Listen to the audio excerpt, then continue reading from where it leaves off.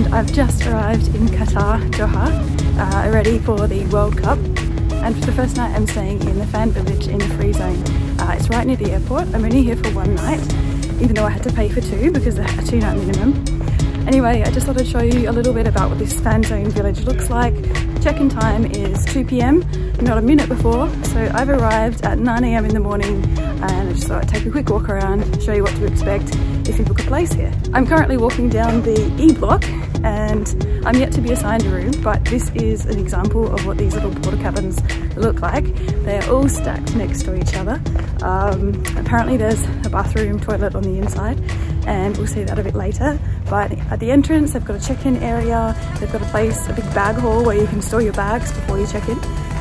Already, my first tip is if you have the option, don't choose D block. It's right next to the big fan zone where they've got a massive TV, lots of seating and bean bags. So unless you want to be kept up all night with people cheering and carrying on, then I'd recommend getting one of the rooms a bit further away. I've been walking around now for about 10-15 minutes and I'm completely lost. Even though this is a grid system so just stop for direction. It's a huge block and I've just had a peek inside. They're literally just a small box with a bathroom. Very basic. It's cost about 200 US dollars a night here.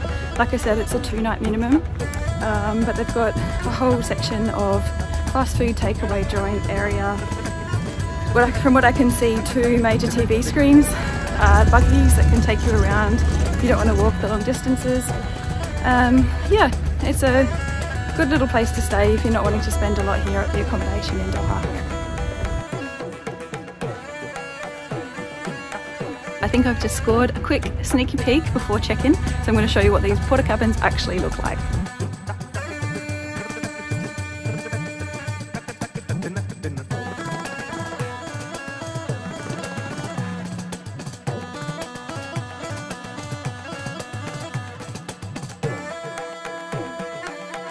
At least we know we've got a fridge now.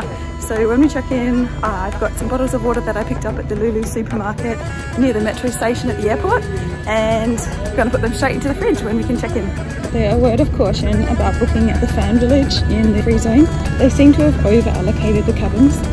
So even though the check-in time is meant to be 2 p.m., they're telling everyone 4 p.m. and it's creating a lot of anger and frustration. People are asking to speak to the manager, they're wanting refunds.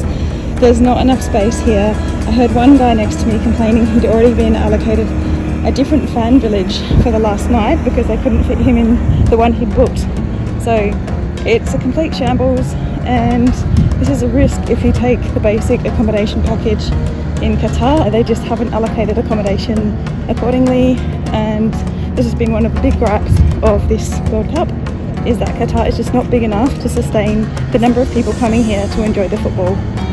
It's really detracting from the experience unfortunately and I am now going to leave to head out and explore somewhere else in Doha because I simply can't get into my room and even though I'd like to have a shower and refresh it's just not possible but we'll return a bit later on this evening to see if I'll be able to get a cabin.